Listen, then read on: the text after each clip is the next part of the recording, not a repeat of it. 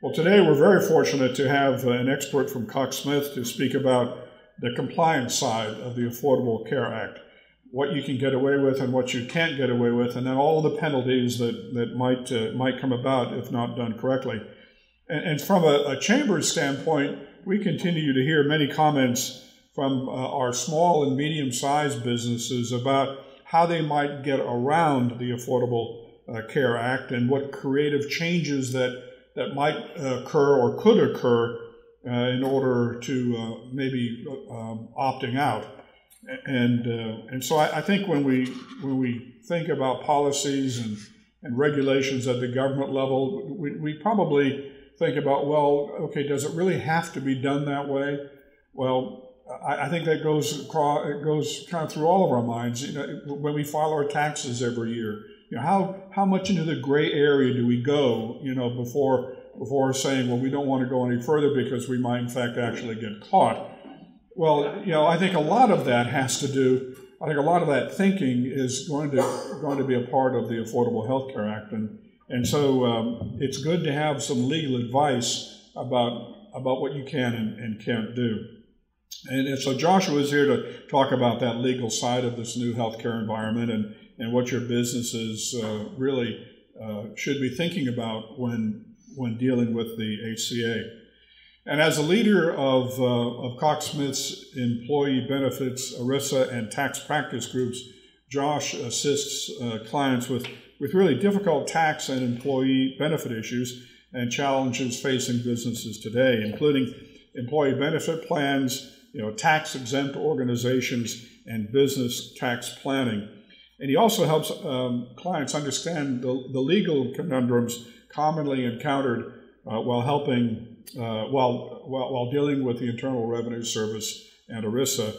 And then also developing practical strategies about how to meet the obligations around those organizations. And additionally, and I'm very, really happy to say this because I've known Josh for some time, he's been named uh, by Best Lawyers as the San Antonio Employee Benefits Law Lawyer of the Year in 2013. And I've had the good fortune uh, to work with Josh uh, in some non for profit organizations. And the thing that I really, truly am impressed about Josh on an ongoing basis is his ability to make the language understandable. And it's certainly you've heard a lot of language already today that might not be as understandable as you'd like it to be. And Josh has this talent for bringing it into sort of common vernacular that we either can understand enough to ask a question about um, or we truly do understand it. And that's a gift. And, and when I talk about interaction, be mindful, uh, and Josh will tell you this as well, that this is an interactive session. I, I don't think Josh will have any problem with you raising your hand and asking a question at any time.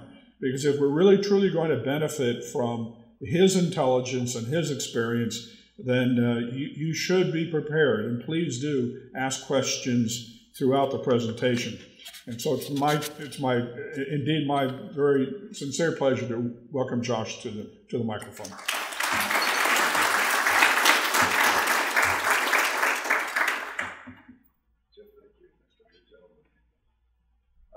In full disclosure, I, Jeff is one of my mentors, so it's very flattering for me to be introduced by Jeff and the kind word. Thank you. But since he did a good job, I'm not going to go on about me. I'd like to get right to the core of the subject. But a few things first. I was raised by two older sisters who always told me women are smart. And Joanna proves that to me every time I hear her speak. Um, so, and, and it's always tough. I really appreciate the chamber for what you do, but I'll pay you back for making me follow Joanna. I will. I don't know how yet, Uh, Richard Perez, check your tires on the way out. Okay. So um, I would like to jump right in, but honestly, I have to do my disclaimers, as Joanna warned you. And of course, it has to be in very small print and hard to read, because no good lawyer should give you anything unless it's got a good disclaimer on it. And this disclaimer says, I'm not your lawyer today.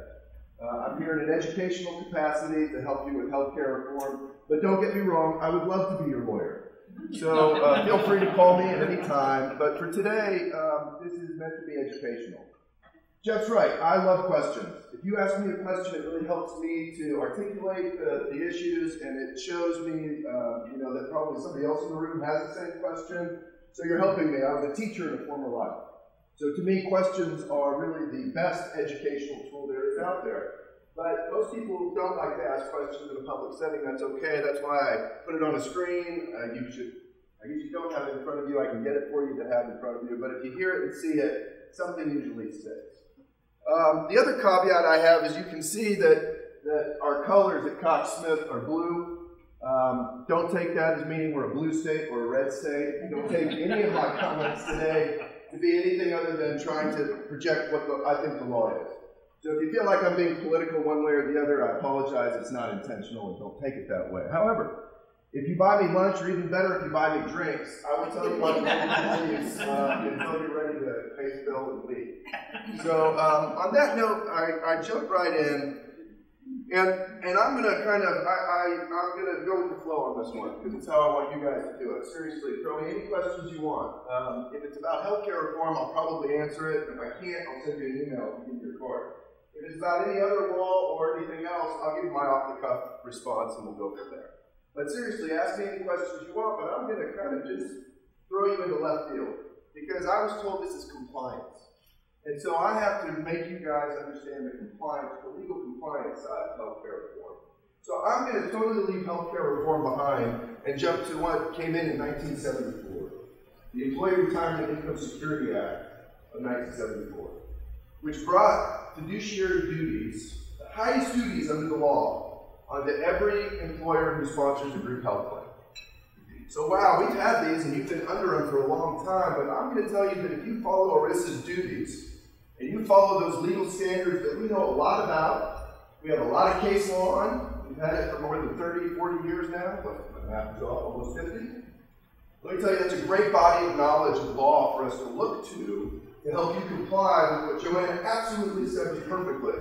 We're on a road, but we've never been on this road before. So from a compliance side, that scares the you know what out of me, right? Uh, I like to sleep well at night, and I like my clients to sleep well at night. So I like to get to something that we all feel very comfortable with. And so when healthcare reform came, I had to make a lot of trips to my doctor uh, over the anxiety and the worry that it was causing me. And I realize that everybody in this room has probably had a little bit of that anxiety and worry along the way. And so my recommendation is not to use medication, but to use ERISA. And how so? ERISA says this generally if you're prudent, if you're careful, you're loyal, and you're reasonable, most likely the law will protect you. Remember what I said ERISA calls you a fiduciary. So if you're responsible for the group health plan or any other ERISA plan, then you're already supposed to be doing these things. But I'll tell you, if you do them, it is going to help your lawyer defend you if anything goes wrong. Okay? And I say that because fiduciaries, by the way, in my mind, you have a big red target on your back. And as a target, why is that? Because you have the highest duty under the law. What's a duty? You owe something to someone else. So don't only think about your duties, but think about who your duties belong to, and it is not you individually. It is not the company you work for. How bizarre is that? You work for a company, you're an agent of that company, you have duties to that company, but fiduciary duties trump your agency duties to your employer. Fascinating to me, the lawyer. Sorry, you guys are all like, what's this guy talking Crazy idiot. So I want you to focus that way as we get into it, and I'm not really going to spend a lot of time on my slides. Uh, and the reason why is what I've done for you is a chronological order. Let's start out here with what's an exchange. Again, you're going to get so much detail. You already have from Joanna, and she does a better job than I do. The breakout sessions are where you can really get into the nitty gritty. So I'm going to stay at about 30,000 feet. And I'm going to go through all of the things chronologically that I want you to think about, and it's a bullet form, which makes my presentation fairly easy. Why? Is because as a fiduciary, I don't think there's any possible way you can spend just three hours today listening to us and meet those duties. I think it's a process. I think it's a long, continuing process that you do day in and day out, right? Because if you're reasonable, I call reasonable doing your homework. What's doing your homework? It's not my 11 year old last night at 11:30 telling me he has 10 pages of, of things that he needs to do before this morning. Was a lovely night in household. Uh, it's getting the assignment, and we're giving it to you. It's been given to us. We know what the assignment is. And start now and take the first thing might want to start with something easy, might want to start with something hard, but go through it and study it. And how do you study it? You go to the breakout sessions this afternoon. You're going to have the best experts in the land, I believe, give you, spoon feed you all the information for each one of these. Okay? So you're already on the right track. Congratulations. Everybody should pat themselves on the back because you're already doing the right thing and heading in the right direction as a fiduciary. So, what are the things that I want you to look around? You know what? Joanna did it perfectly. The marketplace is supposed to look like Travelocity.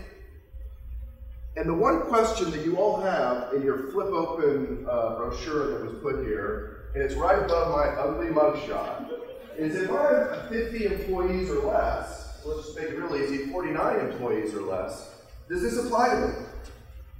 And I think Joanna and I would look at you and say, What's this? What do you mean by that? But I thought, you know what, that's not being a good lawyer. A good lawyer would tell you it depends. And I'm sick of good lawyers. So I want to go back to what Joshua Sutin said. And the answer is no. This does not apply to you, but this is the employer penalty and the uh, sh- employer shared responsibility, which we'll get into today. That one sliver of healthcare reform that is the penalty that will hit an employer. So you don't have to offer health insurance at all. And if you're truly under 50, and Joanna said it perfectly, you need to understand what 50 is and what ALE is, and make sure that you really are not an ALE. So I'm assuming that you can truly tell me I've done the analysis. I work with Joanna. She has proven to me we've done our chart, we've done our AT&E, everything. I am not an ALE. And if you tell me that, I will tell you you are not subject to those penalties. The employer penalty, the sledgehammer, the tack hammer, 4980H, A, B, whatever you want to call it. But that's just one sliver of healthcare reform. You still have to understand everything else about it because there are other parts that will apply to you. And by the way, I'm not one who believes in the ostrich method. The ostrich method is you stick your head in the sand and hope it goes away. I'm the opposite. Even if you are under 50, my belief is no, you still need to study the entire thing. Why? You're still a fiduciary. And if you don't understand it, as you grow and go over 50, what happens? Or what about all those other slivers of healthcare reform or mandates, what I call chapters in the book? So, no, I can answer that question like a bad lawyer and say the answer is no. It will not apply to you for that little mugshot question. But I would not get out your cell phones. I wouldn't get up to go eat your breakfast now because I think you really want to hear and study and learn the rest of it. Um, I think Joanna did a great job on that. If you guys have specific questions about the exchange, let me know. But for most of us in this room, I believe, I could be wrong, we're employers who have health insurance. So it's really going to be your employees who are out there looking at the exchange. But as an employer, I would tell you you better be very careful and you better understand the exchanges. Here's why. Is unless you do what Joanna said. So here's your compliance tip. If you can show me that you as employer have a group health plan that offers minimum essential coverage, it is minimum value, it is affordable, and you offer it to all full-time employees. It's what Joanna told you on her slides, just what you're going to get later this afternoon. If you can tell me that's your plan, none of your employees will be able to get subsidy in the exchange. Okay? But if you don't offer that, or even if you do, there is a ton of information that your employees and the federal government will need from you in order to get this task done. Whether they give a subsidy or not, whether you offer insurance or not, you are going to have to deal with the exchange. How? The first one is our notice. Right? Joanna told you about it, I've got it somewhere on here. October 1st of this year, whether you offer insurance or not, and as long as you have two or more employees, the Fair Labor Standards Act says you need to send a notice out to your employees. Okay? Go look at that notice because if you have not, you are behind the eight ball. Because there's a lot of information that you need to put on that form that you can't just pick up out of thin air. You have to understand minimum value. You have to understand affordable because you're represented on there. You have to pull out your plan and tell me who you cover. How many people here who are responsible for a group health plan can tell me that they can go and pull the group health plan out right now and read the definition of eligibility? Give me a show of hands. You can pull your plan document out. Hey, good, good for you. You're brave, woman, and I'm going to believe you because you were brave. But the point is, even if some of you were going to raise your hand and it was a small number, that is a breach of your fiduciary duties. Why? Because one of my fiduciary duties is you've got to follow the plan document. Right? So I already pointed out to you that just by the fact that you need to do this notice, you now have a great question to take back to your HR team and to talk to who your fiduciaries are and say, where is the plan? And for you 50 and unders, you have it even worse. The health insurance companies are not motivated economically to help you in this compliance area. You're on your own. Your best bet are your Worthos of the world, your brokers, who are motivated to help you get through this and comply. And so I encourage you, before you pick up the phone and call your lawyer, because we bill at a higher rate typically than Worthos, I would have you go to your vendors who you are already paying for this service and who are extremely knowledgeable. Look, what's a fiduciary duty? Careful, reasonable, prudent. To me, going out from your little area of world and finding experts and asking them questions, getting their knowledge and bringing it back into your circle and studying it, is there no better way to prove to me you're being a good fiduciary? I'd say no. But don't jump to the lawyers. We also, another fiduciary duty is reasonable costs. I don't want you to go out and spend a million dollars to conform with healthcare reform. I'll tell you, you're breaching your fiduciary duty. But how much does it cost for you to pick up the phone and call Joanna and say, hey, what does this mean and why? Can you send me information on it? She listed for you at the end of her presentation some amazing resources. If you do not take this back to your HR department and make sure they have studied that, I think you have failed as a fiduciary.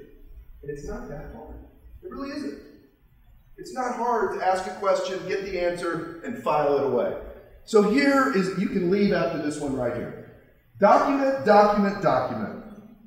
I, I can see some faces in here have heard me before, so I'm sorry for the repetition. I apologize, but thank you. Document, document, document. What does that mean? It means you show me why you're doing it. You show me what you did to figure out why you're doing it. And then you know what I want you to conclude with? This is how great I am for doing it. Because that's what a fiduciary does, right? So what is it? I need to understand healthcare reform. Go get your plan document and go start asking questions. But it's in the interest of your participants. So the questions should not be coming from Joshua Sutin, shareholder of Cox Smith. How much is this going to cost me at the end of the year?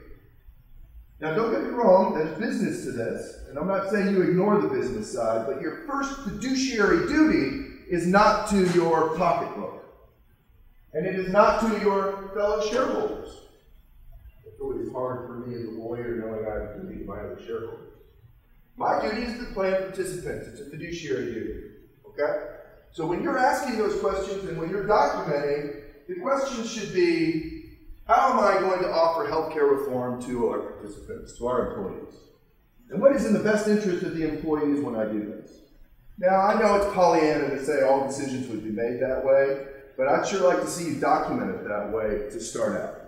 Now, does fees come into it? Absolutely. Do I want you to lie, cheat, or steal when you're documenting? Absolutely not. That defeats the purpose. So I'm not asking you to make it up, and I'm not asking you to do something that is wrong. I'm just saying put down when you do it right. Document. Okay? Why? Because if I have to defend you in a lawsuit, or more likely, if I have to help you through an audit by HHS of your plan, or DOL, or IRS, all three can easily come in at any day and ask to see your plan document. So for all of you who could not raise your hand when I said, where's your plan document? Your real fear should be when the IRS sends you a letter and says, I want to see all of these documents in my office within a week. And let me tell you, if you cannot produce everything perfectly, you're already on the wrong track. You're already setting yourself up for a long, exposed problem. Versus a good fiduciary looks at an IRS or a DOL or an HHS audit and says, bring it on. You're a waste of my time, but here's a room, here are all the records, ask me the questions you want, let me go do my job. That's how I want you prepared for an IRS, DOL, HHS audit. And if you're a fiduciary doing your fiduciary duties, you got it. It's easy. All right, so my timeline. You see, I started 2013, and it's really because I'm not going to worry about the past. We've been doing this through 2010, And if you need a timeline from 2010 up to today, you're really behind the eight ball. So the first thing you should do is again call your broker, but let me know and I can send you the, the bullets for everything up to today. But what I want you to go back and do today are these things. And when you're in your breakout sessions today, it's what I want you focused on, even though a lot of it is going to be on the employer penalty. You need to do these things in preparation for the employer penalty. We lucked out. They gave us a whole year to deal with the taxes on employers who don't offer good enough coverage or don't offer it at all. That's the way I look at it. Okay? And in fact, let me totally back up and screw you all up real quick. Look what I call it. Now back to the employer shared responsibility, the tax that will hit each employer, non-deductible penalty each year if you don't offer sufficient coverage. Okay? And if you really offer junky, junky, or nothing at all, there's what we call the huge sledgehammer penalty. But everybody's out there calling it play or pay, or pay or play. And I think that's a misnomer. Because I think you could pay or you could play and you would still hit the excise tax. But my point is, is that coming back to what I need you to do, is that that's in 2015 now. So I don't want you to be the ostrich and stick your head in the sand into it, and by being here today, you're not. So congratulations. But I do need you to focus on these as well. Oh, sorry, wrong one. Next. There we go. My timeline. So starting out, you actually have until the end of 2014 to fix this new limit from healthcare reform on your cafeteria plan. So I'm actually off and I'm back over on cafeteria plans. But I'm in healthcare reform, and healthcare reform is not just your group health plan. It encompasses a lot of other things. But for employers who sponsor plans, you need to go back and amend your cafeteria plan. So take this back to HR and say, if we amended our flexible spending arrangement only, FSA, so that it's only 2500 a month. Different plan, but that flexible spending arrangement, should you have one, is also subject to ERISA and therefore you're also a fiduciary over that plan. So now I go back, instead of you just going back and saying, can you show me where your group health plan is, the next question should be what? Where's your cafeteria plan? Do we have one? If so, what does it say? And I will tell you that every single one of you who are an employer or help employers who sponsor group health insurance, you have to have a group health plan if participants pay for part of their premiums. It is called a premium only plan. It's cafeteria plan. Okay, so everybody has to have at least that POP. But under that premium only plan, cafeteria plan, you can sponsor this flexible spending arrangement, and that's where that limit is. Okay? But if you don't know, if you can't tell me right now exactly what it is, that's one key that we need to ask. But two, go pull out the plan document. Okay? We have a number of fees that are becoming that are coming. PCORI just hit us in July. If you're not paying a PCORI fee, you need to tell me why.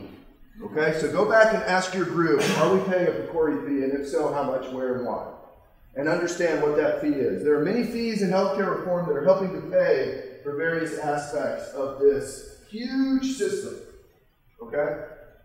Third, the exchange notice, October 1st, we talked about. Then the exchange is open. And I talk about this 12 month measurement period. That, to me, again, is going back to the penalties, the employer shared responsibility penalties that we will be talking about. Your guys this afternoon are going to really educate you on how to count employees for that purpose of that tax. And in part of counting those employees and in part of understanding how you're going to implement your way of tracking those employees, right? You heard Joanna talking about variable employees, part-time employees, full-time, all of that is tracking and measurement periods. And if you can't show me all of your documentation on how you're doing it then you, to me, have failed as a fiduciary. And honestly, what really worries me is you're not going to be able to defend when a notice comes from the exchange saying, we think you owe this employer penalty. Right? You're going to get a notice that all of a sudden says, oh, you have a thousand employees. Guess what? Your penalty is almost $2 million, non-deductible. How are you going to pay for it? When you get that notice, what are you going to do? If you panic, we have failed. But if you say, hand this to HR, they've tracked it, we're under a safe harbor, and if I use that safe harbor, I've already documented exactly how we're doing this. And I can immediately respond back to that notice and say, this is why we do not offer that penalty at all. You, Exchange IRS, have goofed. And why do I know they're going to goof? They're going to goof a bunch. Why? It is so complicated. Somebody said they want money. I want to identify who said it. I, I, I tend to agree with you, right? Treasury would like more dollars. But what I was going to say, although I think that's a good point, is um, it's so complicated.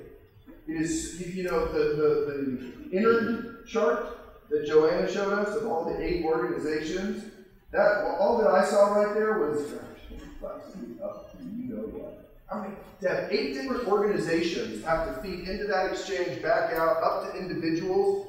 These individuals will typically be lower income, lower socioeconomic. I don't think people in this room will be going to the exchange. That is not a comment politically, but just think about it.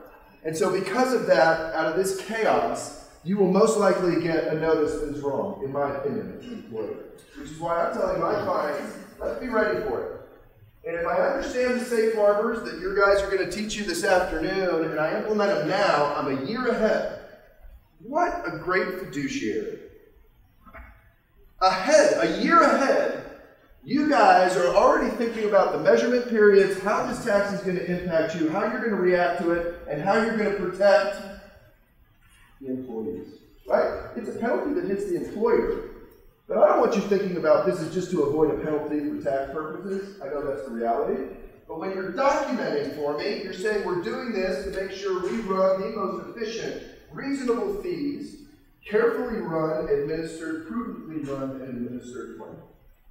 You can see it gets that nausea with me. I'm apologizing up front. But I see a dearth of people doing what they're supposed to be doing when it relates to their group health plans. Now, it used to be that all I did was pension work. ESOPs, 401k plans. Have you noticed that the Congress has not been focused on our pension plans much lately? Where has all the shift gone to? Healthcare reform. So that's why all of a sudden my pension clients are on the back burner. I don't have any plan amendments. Those have been running smooth for a while. We still have our issues we do it, don't get me wrong, but I'm really, I'm not focused on them as much. I'm focused on the welfare plans. And I have been my whole career. And the reason why is we were always the stepchild in the benefits world. Nobody cared about the welfare plans. Why? There's no money, pocket of money like the pension plans, right? Your 401k plan can have millions of dollars sitting in that trust. People react when they see millions of dollars, and their fiduciary duties are up the wazoo because they see that pot of money. Nobody sees that with welfare plans. So my belief is that 99.999% of the welfare plans, insured or self-insured, are absolutely out of compliance. And if any one of you can come and show me that you are 100% compliant, I will buy you dinner at O'Hanlon's. There's my pledge to you.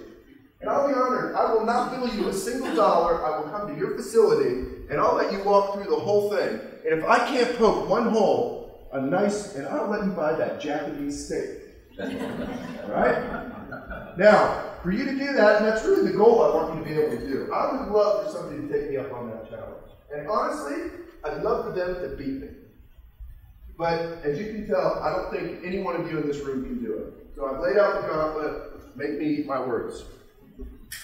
Okay, I'm now to 2014. And look at all the things that hit us in 2014, okay? So I start up here, your annual limits are prohibited. So go back, make sure your plan has absolutely no annual limits. What's that? You can only do, uh, I'll only pay for medical group, major medical coverage up to a million dollars a year. Gone. $100,000 a year for this benefit only. Gone. Okay? We used to have lifetime limits. Those have been gone since 2010. Thank you. I went to Joanna. See, great. Um, but for some, then we got some waivers, but for most of us, they're gone. So go look at your plan. What a great way for you to document that you are being a good fiduciary in the best interest of participants. Thank you. Right? What are you going to do? You're going to go, you're going to read your plan document. There's one fiduciary duty. Two, you're going to look at it and say, we do annual limits, this is bad for employees, in the best interest of employees, and employees the law. We're pulling it out and make sure we pull it out. Now, my hope is it's not there, it's easy, it takes you 10, 15 minutes, but then what are you going to do? You're going to go document it. Whoever said that, I had a dollar, it too. Well done. Okay? So, just a great example of how each one of these can be used very quickly, very efficiently, very easily for me to defend you against anyone. individual or government. Cost sharing limitations, this is a huge one we're going to see, but you can only charge participants so much deductibles, copays, and all adds up. Make sure you understand this. This is huge and it is very complicated. 90 day waiting period, Joanne, you got. The exchanges come up. Pre existing condition exclusions go away. We've already been gone for the youngers. But now all of us will no longer have to worry about being excluded from coverage for pre-existing conditions, whether it's employer plan, exchange plan, any other governmental plan. Okay? And this is fascinating to me. See, I always broke things up into ERISA, which I think most of you are, and non-ERISA, church plans, my governmental entities. Healthcare reform, blind to governmental church distinction and you guys. Healthcare reform hits the governmentals, it hits the churches. Fascinating from a legal perspective. Wonderful. Here now, I can always, my governmentals would always have some kind of ERISA language in their plan, and I'd scream at them, how dare you! Why would somebody who's not subject to ERISA pull it in and give people the argument that you are covered? Get that out! Now, I have to go back and amend all of their health plans. Why? Healthcare reform ripped the claims procedures out of ERISA and stuck it on all my governmental and churches. So now, in my legal world, blows me away. Actually, governmentals and churches are subject. Changed years of law. So sorry, ERISA geek, I love it, but but it's fascinating to me. You need to be aware of it. Reinsurance fees, here we get more fees. These are expensive. The individual mandate comes in, so if you're not getting coverage, Joanna hit this well, there's a tax. Non discrimination. There are now lawsuits. Hit me with five minutes, Will, whenever you see me. There are lawsuits now that are available for individuals to sue their employers. Fair Labor Standards Act. You discriminated against me because of a health care factor. Every one of you are now subject to a whole new area of plaintiff's litigation. Okay? Now, the only one I've seen so far is the organization now has sued certain plans that do not provide for pregnancy. Makes sense for me, right? They're saying that's clear discrimination against women. And it hasn't resolved itself yet, but it's fascinating again from a legal perspective. So be aware of that. Okay, these HIPAA electronic rules, absolutely nobody knows about them, and it's something that I would want you to go look at and research. We actually had to be up to a certain level last year. This is the second round. There will be a third and fourth round over the years. Go figure out HIPAA. And not just HIPAA electronic operating rules, what you will really find is HITECH and our privacy, security, and breach notification rule. And if you do not understand HIPAA as it relates to your group health plan, you got a lot of homework to do. And get going. September 23rd, you need to be completely compliant with the final omnibus rule. Yes, ma'am. I didn't get one question. Thank you. Thank you. Thank you. I'll explain it later. I'm coming. Yes, ma'am. I'm in HR and I'm already dishing out the exchange notice to our new hires, which I didn't feel was a bad thing to do based on Don. Um, but I have uh, created an acknowledgement form, and instead of providing them with a copy of our thick plan, I state that it's going to be in HR or on our webpage or somewhere where they can go and view it. Is that going to be okay? Good. You've opened up a whole Pandora's box of notice requirements. Let me try to answer yours. But this is great. This woman has just given you another whole fiduciary issue that you need to think about. Do not blame the messenger. She's only trying to help us. My, my answer to you, I think, is I'm not. I think you're saying the plan document that you, you instead of giving the plan document, you, you have to sign the acknowledgement with the notice and say, if you want the plan, come inspect it in our office. I think that's fine so long as you meet the SPD, this is ERISA requirements for the disclosure. And I would tell you that as long as you gave the SPD for free on new hire, um, that you probably are okay. I want to hear more facts from you and really, you know, flush it out. You don't need me. Go back and read, go back and think through, ask your brokers, ask, do your Google searches. Uh, and why do people come to me? So I think I, I'm going to try to answer your question. I think you're okay. I would prefer that you, in that letter, that consent to individuals, I love getting signatures and acknowledgments. I'd have them consent to getting it electronically. Since you're already going to that work, you can have them consent and say, yeah, you can send it to me electronically. And you can tell them that if they want it hard copy, they can request it. But by doing that, then you can just email it out or put it on an intranet. Now, if people don't have access to a computer, we got to probably get it to them physically. I prefer that because I know it works. Hey, there's my five. Let me really hit you with the big stuff. You guys can do your homework. My job is just to give you the assignment. I know you all hated your teachers, but it's really we're trying to help you. But if we do the work, you don't learn it. Right? The best teachers are the ones that get their students to become teachers. That's what I'm hoping I do for you today. I want all of you by the end of today to begin the education so that eventually you will be able to teach this. Okay, look that up. You'll get a plethora of knowledge. Okay, we'll have reporting issues. This will fall on you. You'll need to help with it. So you've got another tax return and then the employer mandate. You guys will get plenty of that. Uh, this is my cost sharing slide. By the way, if you want this, just let me know and we'll get it to you. Uh, still on my timeline, uh, or sorry, the cost sharing. This is my pay or play. So I give it to you. Listen to the experts this afternoon. Joanna does a great job. They're going to get you more. After that, come let me know. Um, here are the other things I want you focused on as it relates to your group health plan. Why do people come hire me? And when they usually call me, I'll usually stop and tell them what I told you, and that is, you done your homework? Have you gone and researched this? Have you gotten to a point where you're stuck? Don't come to me until you're stuck. But the benefit is when you're stuck, or when you really, really want to cross your T's and dot your I's and protect your fiduciaries, people call me because the law has blessed lawyers with the ability to write you a legal opinion or write you a memorandum that says the way you're doing it in our mind is reasonable. There is no ultimate way to prove a fiduciary is reasonable rather than having an outside professional give it to you. And lawyers get the benefit of privilege and confidentiality, and we also get the legal requirements under the Internal Revenue Code to get you out of penalties. So I'm sorry that we have an elitist system, but I joined it, and so it's helpful to me.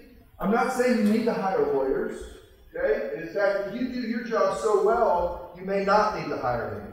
But when you're on that road and it's the first time and we're going down a path, you're going to have to make guesses.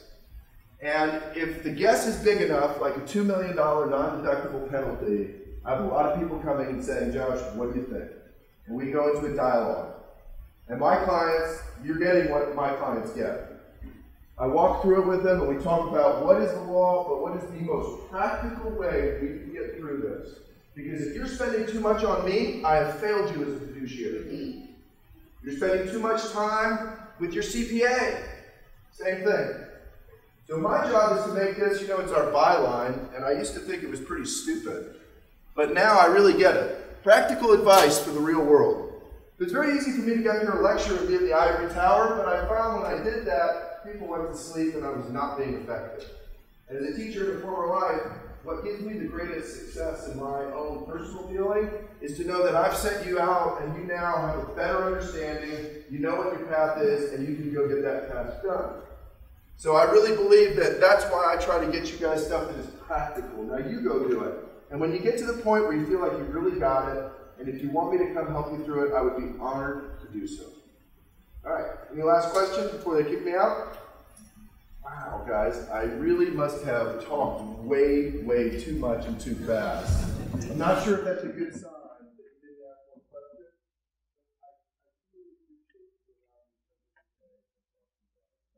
What you can see is um, something that I'm actually very passionate about. I think this is, um, politically or not, um, I am one who believes that um, we're in a world where there are a lot of people in our city and in our state in our country who are not getting adequate medical coverage. Okay, so whatever your belief is politically, I'm going trying to appeal to both the left and the right. I believe that we fail as a society if we are not giving the basic fundamental right of decent health coverage. Okay?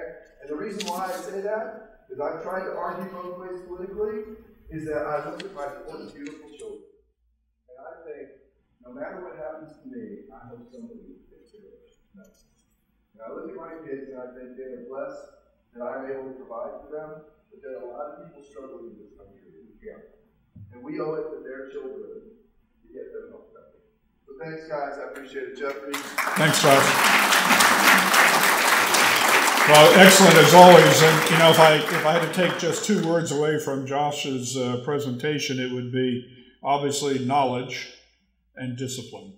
And that's knowledge of everything that you really need to know about the Healthcare uh, Act, and then the discipline to follow through in virtually everything that you need to follow through on in order to make sure you're safe.